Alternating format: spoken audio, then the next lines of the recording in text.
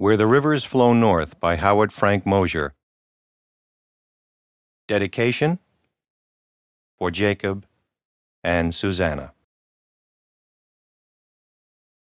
Alabama Jones. I should have known better than to stop when I saw her standing by the side of the road in a dress as red as the maple tree she was waiting under. I should have taken just one look at that short red dress and gun Frog Lamundi's log truck on by as fast as she would go.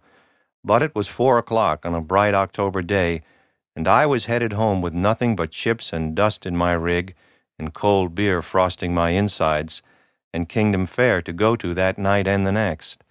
I shifted down.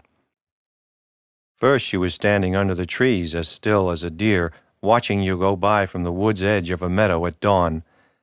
Then she was running on the gravel shoulder alongside the road, with her bare legs moving as brown and fast and slim as a deer's, it seemed, and jumping onto the running board and up into the cab before I had any more than shifted into first gear.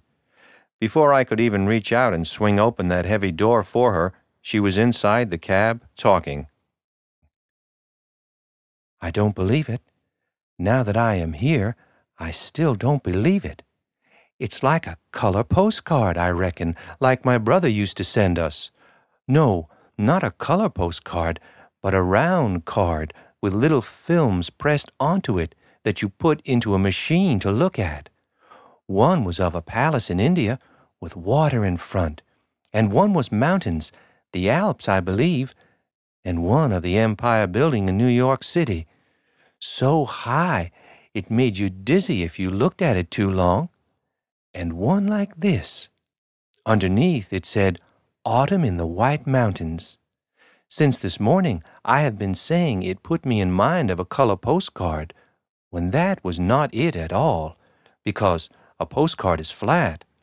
But when I looked into that picture machine at autumn in the White Mountains, it was like looking at these trees and hills through a pair of field glasses, with every tree standing out separate, with every leaf standing out separate even. She was different from what I had expected. Without actually thinking of the words, I had just naturally expected that she would be hard and quiet, and maybe resentful of me that had a truck to ride in.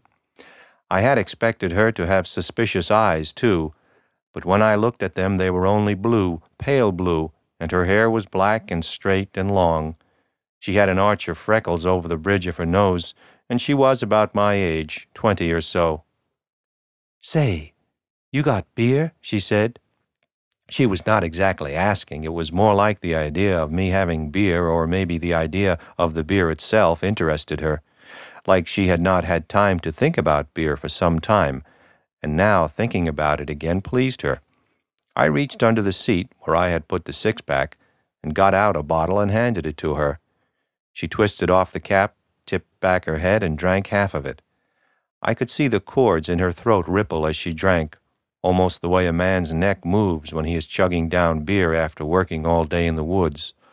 Only with a man it is his whole neck that moves and not cords rippling.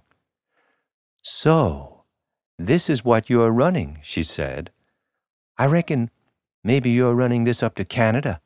I reckon this is what half the people in this state do for work, the way they've passed me up on the road for the last two days, like they had a secret they didn't want me to find out.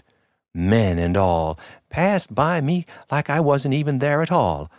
I never see such a hard place to get a ride on the road as up here in the White Mountains.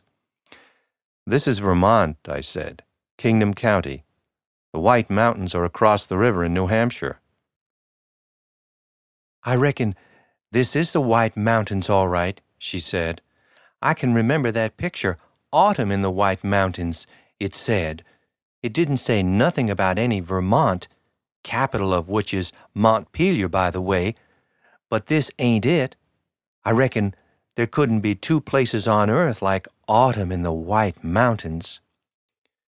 She tipped back her head to drink, and then there was a clatter, and I looked over past her legs where her empty bottle was rolling back and forth on the coiled log chain on the floorboards.